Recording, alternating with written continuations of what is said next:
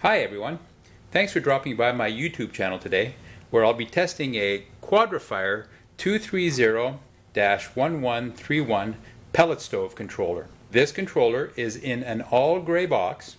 It is a three-speed controller and came out of a 1000 insert pellet stove.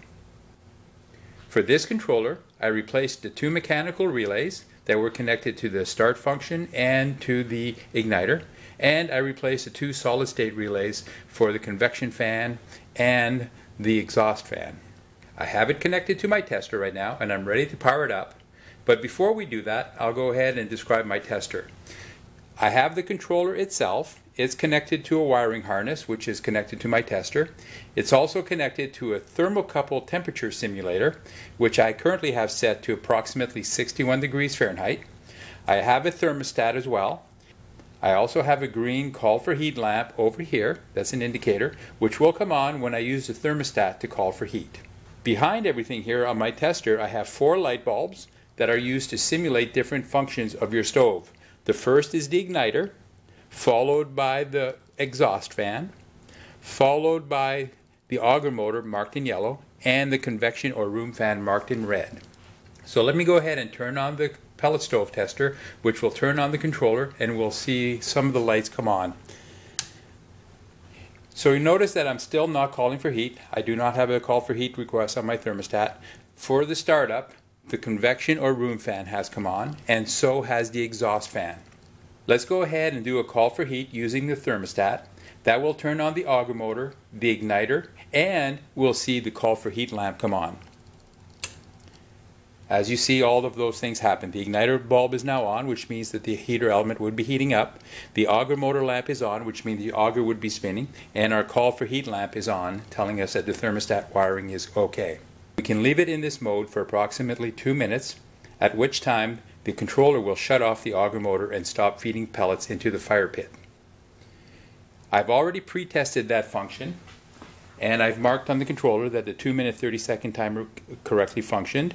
The 8 minute and 15 second timer for the heater element also functioned correctly, and the 14 minute timer to shut off the exhaust fan if the heat of the fire has not risen above 250 degrees Fahrenheit will also shut off.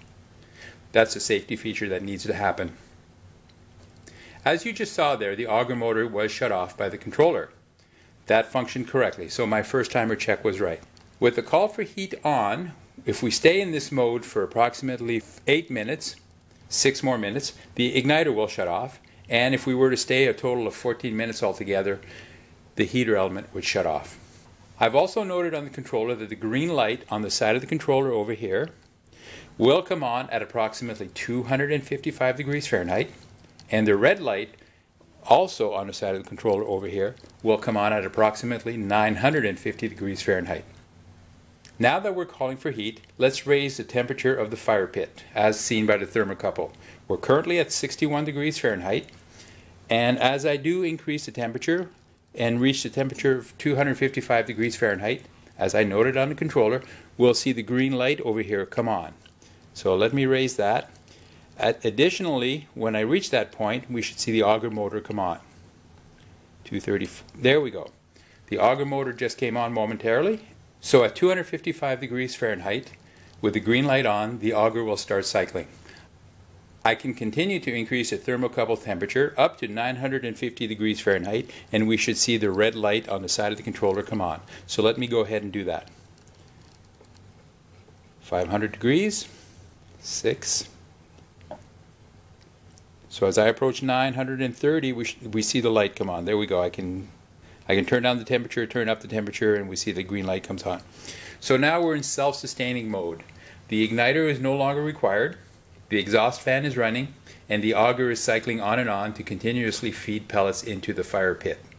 That mode will continue as long as we have the green light for the call for heat lamp being on. If the room temperature rises and opens the thermostat, such as I would do here, we see that the auger will stop running, stop feeding pellets into the fire pit, and the fire will cool a little bit. As the room cools, the thermostat will come back into play, it'll turn on again, and we see the auger motor start feeding pellets into the fire pit once again. As long as we have the red light over here still on, we will not have the igniter come back up, and as long as we're calling for heat, the auger motor will continue feeding pellets into the fire pit. The fire will continue to roar. The room will rise in temperature until the thermostat opens. Then the auger stops feeding pellets, like this.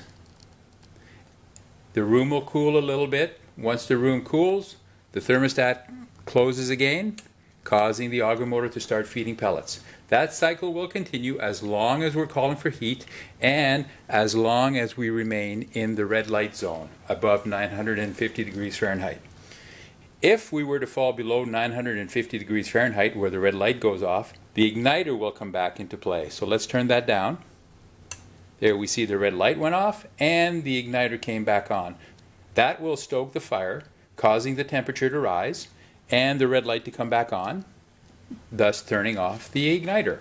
So that cycle will continue on and off, on and off, on and off, as long as the thermostat is calling for heat. If the user were to turn off the thermostat by setting it to the coldest position, then the stove would no longer feed pellets into the fire pit. The fire would cool down and smolder out. One last thing I want to check at this time is the function of the three-speed motor control. To do that, I'll need to turn off the controller and connect a small electric motor into the circuitry here. So let me do that. I just now connected a small AC motor in parallel with the convection or room fan.